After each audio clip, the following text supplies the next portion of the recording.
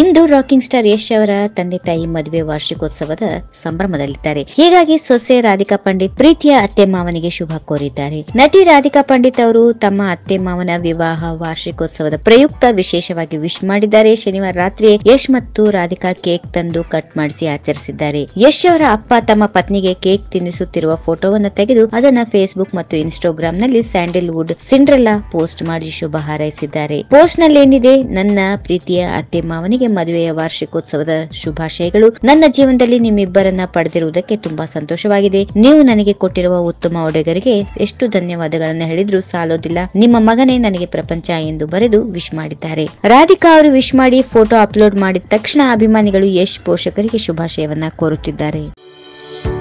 If you like this video ಬೇಗ like ಮಾಡಿ comment ಮಾಡಿ ಶೇರ್ ಮಾಡಿ. ಹಾಗೂ ಅಲೋ ಟಿವಿ ಕನ್ನಡ